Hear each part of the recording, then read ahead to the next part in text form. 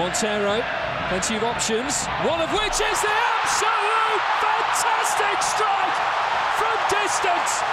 It was coming, and now he has his first goal of the season. And in what style? Fredy Montero is back in a big, big way. Well, what I say? Attack, attack, attack. Fredy Montero so unlucky in the first half not to score. They back off of him, 35 yards. He slams it into the far post upper corner. Bill Gaudette, no idea what's going on. Look at the nastiness of that ball. That is a tremendous goal from a very good player, and Fredy Montero is off the mark for 2012 in unbelievable style. That is not tremendous, that is world class.